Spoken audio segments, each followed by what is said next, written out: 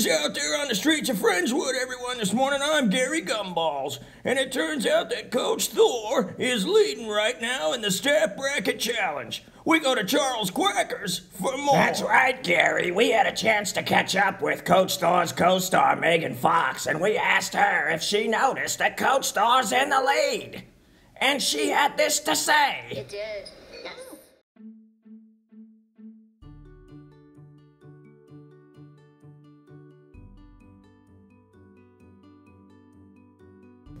Outstanding.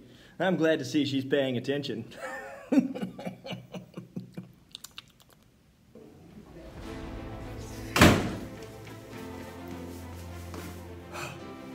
Thor, Super teacher. we found the flash drive. It was in the cappuccino machine.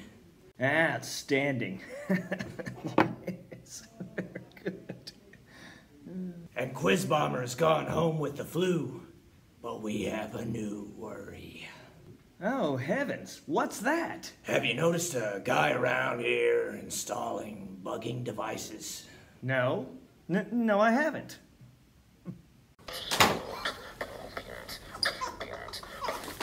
Are you sure you've noticed nothing new in this room? Positive. Not even the huge camera in the corner? Oh, heavens. Who put that there? He goes by the name the Bugger Man. The Booger Man? Oh, my goodness. No, Bugger. oh, you mean like he's trying to listen in on my private lessons that are only for third, fourth, fifth, and sixth period unadvanced placement history classes? Exactly. He's also got your track practices bugged. Really? This is preposterous. We're not even on Watergate yet. Why would I be getting bugged already?